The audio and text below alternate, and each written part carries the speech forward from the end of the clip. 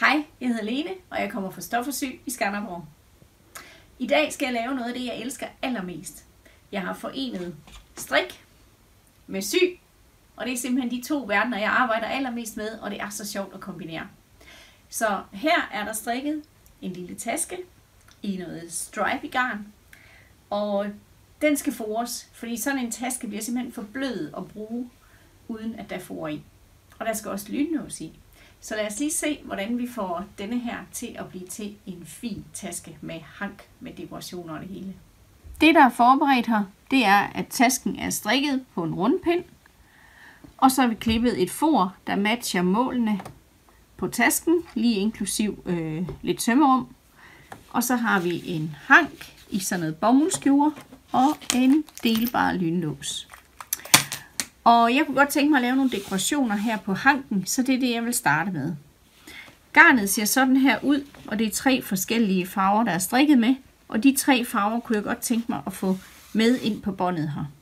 Så jeg vil bruge garndekorationsfoden, denne her. Det her er på min øh, FAF Expression 720, men den passer til de fleste FAF-modeller. Og findes også til Husqvarna Vikings symaskiner. Måden man bruger den på er, at med trykfoden følger der sådan en lille nåletråder her med et kæmpestort øje. Og den putter jeg i op fra her. Og så finder jeg en garninde. Og putter ind i det her store øje. Og så trækker jeg garnet igennem. Og der er tre huller, så jeg får lige fyldt alle tre huller op her sådan her, så har jeg fået alle tre garner igennem hullerne her. Og lige for at holde styr på dem, så binder jeg lige en knude her, så ikke de suser frem mig, inden jeg skal montere trykfoden. Så skal trykfoden på. Sådan her. Og knuden bagud. Og jeg har valgt en 60 zigzag Sat den rigtig godt op i stingbredde, 7,5-8 mm og en god stinglængde. Så har jeg trådet symaskinen med usynlige overtråd. Den her er i den lyse udgave, den findes også i en mørk. Og jeg har almindelig undertråd i, som matcher farven, jeg skal sy i. Og det er en almindelig 80'er nål, jeg har i. Og så for at jeg kan styre mit bånd, så jeg vil jo gerne have det til at ligge herhen lige i, i midten på, øh, på jorden, så placerer jeg lige trykfoden, så jeg kan se, at den er i midten her. Og så bruger jeg min sømguide, denne her lille magnet, til at lægge op af, fordi så kan jeg ligesom læne mig over mod højre, når jeg syr, så at båndet får et lige forløb, eller garnet får et lige forløb på båndet. Skal vi lige have den her bagud igen. Sådan der. Og så ned på gulvet med garnet, så jeg har et frit løb i garnet her. Og så er det ellers bare at køre hen over båndet. Så er det bare at køre stille og roligt ud af. Jeg læner båndet op mod min sømguide til højre, og trykfoden styrer garnet for mig. Og så kommer den her zigzag, 60 zigzag, og holder trådene fast.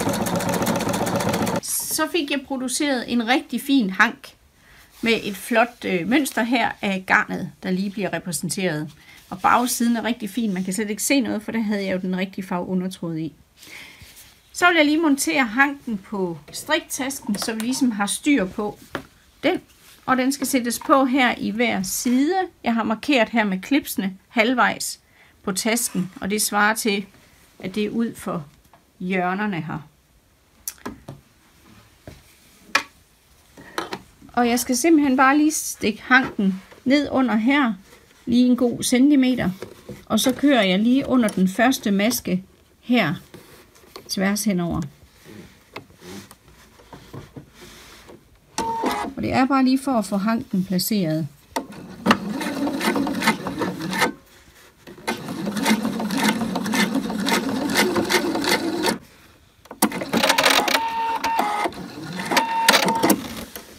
Sådan her.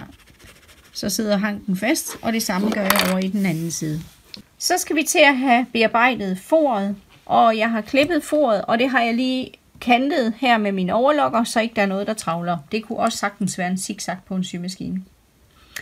Lynlåsen skal placeres, og det ligger her med ret siden opad, og så har jeg lagt min lynlås ovenpå, og jeg har valgt en delbar lynlås, fordi så kan jeg skille lynlåsen ad og arbejde med to løse dele. Det synes jeg er noget nemmere. Lynlåsen skal placeres, så jeg har lige meget fra slutningen og ud, og fra starten og ud. Så jeg skal lige have den her rykket ind på plads.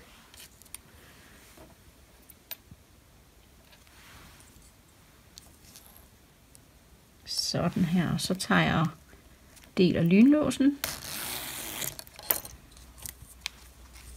Og så skal vi have denne her sat på tilsvarende over i den anden side.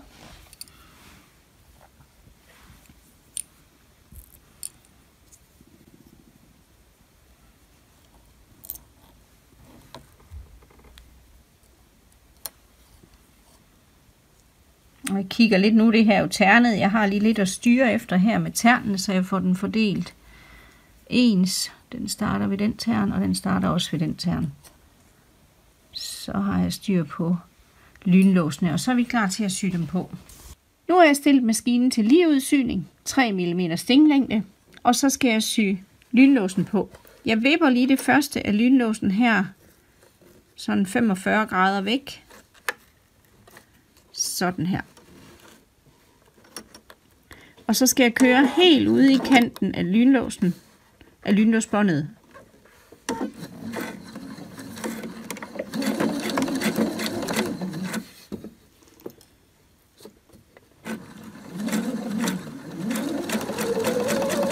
Og det passer med, at min trykfod lige glider langs med tænderne her.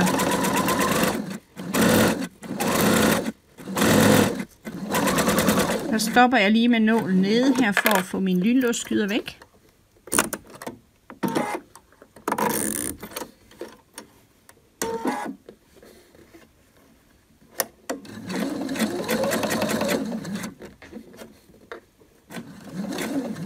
Og helt hen til slutningen af lynlåsen.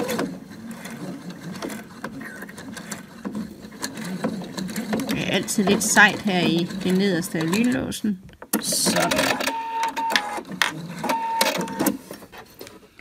Og så hænger lynlåsen fast, og vi har stadigvæk ret siden opad her.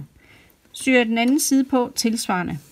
Så er de to lynlåse syet på, og så samler vi dem lige her. Sådan. Så skal jeg lige have samlet sidesømmene, men kun et lille stykke, fordi det er en god idé at kan arbejde med et fladt stykke, når vi skal sy lynlåsen i. Så jeg syr lige sidesømmen op fra og bare lige 5 cm ned, så jeg lige har styr på min sidesøm, når vi skal sy hen over bundet. Så har jeg syet sidesømmene, bare det her lille stykke, så der lige er hold på det her oppe i toppen. Og nu skal vi have foret ned i tasken. Og jeg starter med at placere ud for hankene. Hankene skal være lige hen over mine sidesømme. Så jeg lægger hanken her lige midt hen over min sidesøm. Og her er vi simpelthen nødt til at bruge en knappenål. Det ved I godt, jeg ikke er vild med. Og hvis jeg stikker mig, så får I det at høre.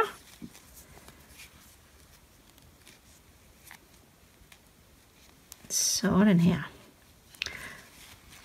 Og jeg placerer den lige over i den anden side, så jeg har de to fixerpunkter klar her.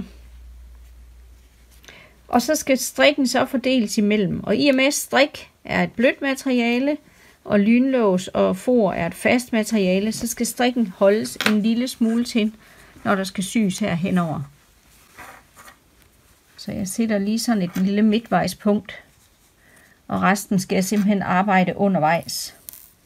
Så lige et lille øh, markering her halvvejs, og det samme over i den anden side, så jeg har lidt styr på, hvor meget jeg skal fordele strikken rundt.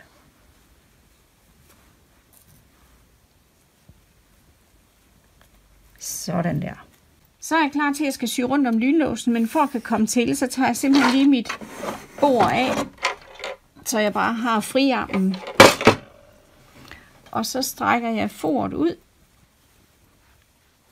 Sådan her Det ligger jeg til højre.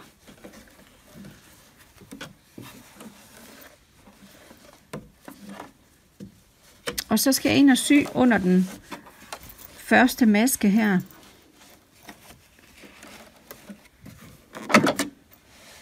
Sådan her. Så nu skal jeg køre her lige under den første maske. Men jeg skal have lidt afstand til lynlåsen. Der skal være god plads for skyderen at køre frem og tilbage, så ikke den griber fat i, i strikken.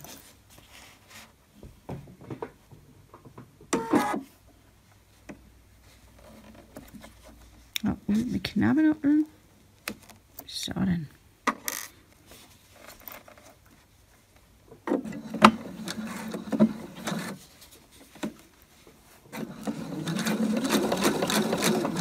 er stadigvæk stinglængden på 3. Og har du en overtransportør, så er det saftsus med vigtigt at have den slået til. Flytter lige skyderen, så vi kan komme forbi her i bunden af lynlåsen. Og så er det altså at rulle kanten op, og så ligesom skubbe strikken lidt hen. Lynlåsen giver sig jo ikke en millimeter, så jeg skubber strikken lidt hen, og sørger for, at der er lidt afstand op til lynlåsen, så ikke vi kommer for tæt på skyderen. Og sådan kører vi nu hele vejen rundt. Stille og roligt små sektioner i gangen. Og jeg har mit punkt her. Jeg har lige halvvejs punktet, så jeg kan se, hvor meget jeg ligesom skal holde strikken ind.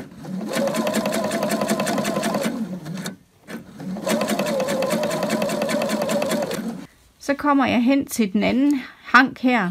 Og det er faktisk sådan et sted, der plejer at være kritisk, fordi man ligesom er ude i i en vending her. Men i og med, at vi har en delbar lynlås, jamen, så kan vi sprække lynlåsen fuldstændig op. Og foret er ikke syet sammen endnu, så vi, kan, altså, vi har et fladt stykke liggende her, så det er nemt at komme omkring.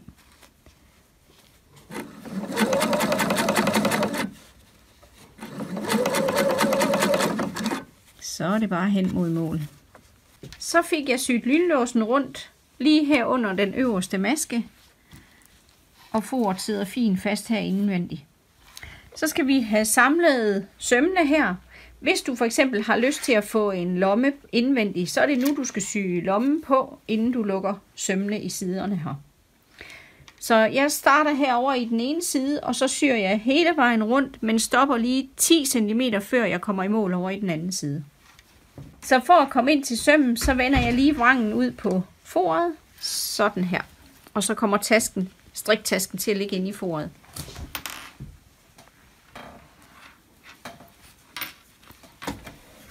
Så jeg skal lige op og fange der, hvor jeg sluttede min lille sidesømsyning, inden vi syg lynlåsen i.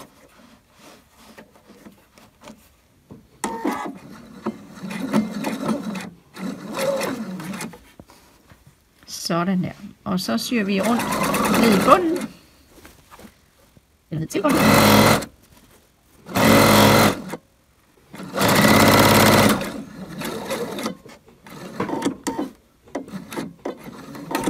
Og rundt i bunden.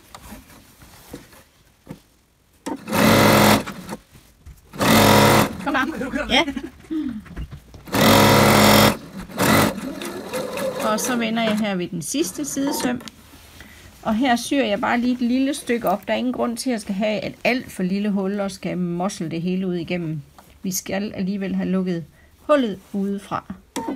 Så jeg syr lige 5 cm op af sidesømmen her. Og så har vi lige det sidste hul her i sidesømmen, vi skal have lukket. Og der har jeg lige glattet sømmene ud her. Og så kører jeg simpelthen en helt smal stikning ude i kanten. Så jeg får lukket sømmen udefra.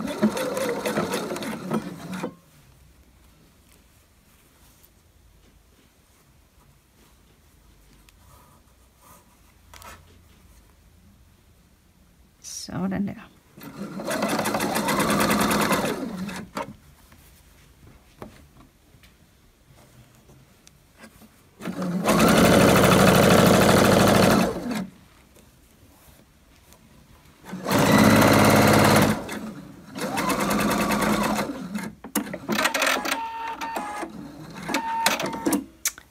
Så blev kanten lige lukket sammen her med en helt smal stikning. Og så sørger mig, om ikke vi har fået foret tasken og fået sat lynlås i. Og nu skal jeg så lige have samlet den delbare lynlås her.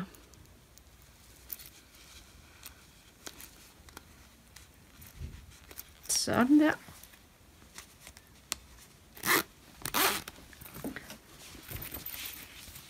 Og så kom der for og lynlås i tasken. Så blev tasken færdig. Jeg har lige været forbi strygejernet og dampet den let, så lynlåsen kom til at falde godt på plads. Så rigtig fin måde at få fodret din taske og sat lynlås i og lave sjove hanke. Jeg håber, du er blevet inspireret. Husk at følge Stoffersy på YouTube.